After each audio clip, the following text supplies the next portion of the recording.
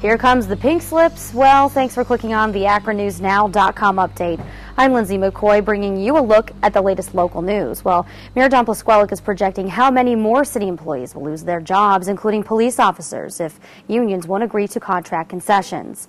In a chart of city expenses and budget deficits released by the mayor and the city finance director, Diane Miller Dawson, a minimum of 23 workers or a maximum of 129 city employees would have to be trimmed from the payrolls.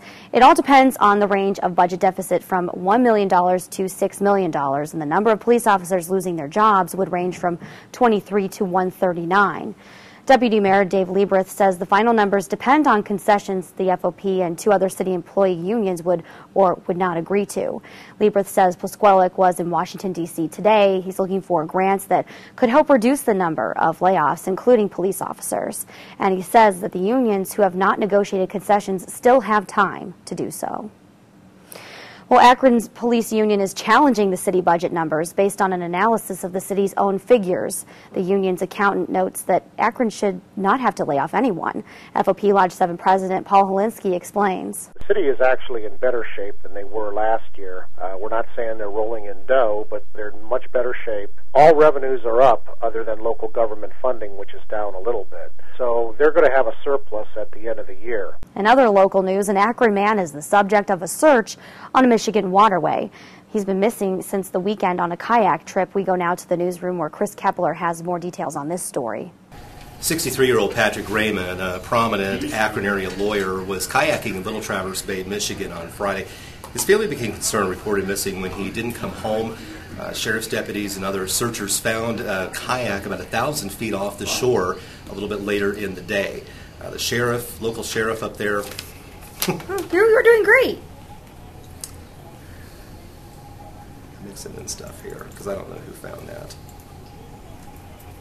All right, we'll do it again in three, two, one. 63 year old Patrick Raymond of Akron, a prominent area lawyer, was kayaking Little Traverse Bay area of Michigan on Friday. His family was concerned when he didn't come home. Several hours later, his kayak and a paddle was found about a thousand uh, feet off the shore. Uh, the local sheriff has told a local television station in Michigan that this has shifted from a rescue mission to a recovery mission. Chris Kepler, AkronNewsNow.com. Thanks, Chris. And a Summit County judge upholds a jury's recommendation for a local killer. On Monday, 32 year old Johnny Cook was sentenced to life in prison without parole for killing a mother and her son. Jurors convicted Cook last month on four counts of aggravated murder with death specs, aggravated robbery, and others. DNA linked him to the murders. While he's moving on to play in another town, LeBron James has handed over a $30,000 check to the city of Akron to help pay for youth basketball programs in Akron. Akron City Council President Marco Sommerville says the basketball star told him that he'll always do what he can to help young people in Akron. Now, the check was presented during the annual King for Kids Bikeathon.